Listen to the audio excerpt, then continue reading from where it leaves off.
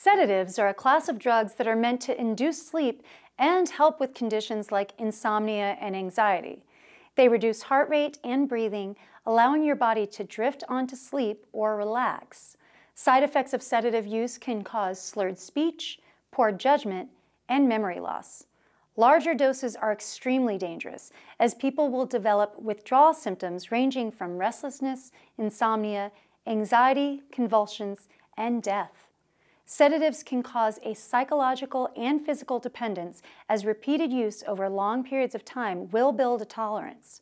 This will cause people to have to take more and more to reach the same effect each time. When abused, sedatives are very dangerous because in the wrong dose, it can reduce your heart rate and breathing to the point of death. The sooner a person starts recovery, the quicker they can regain control over their life and stop the damage addiction will cause to the body and brain. If you or someone you love is suffering from addiction, there is help.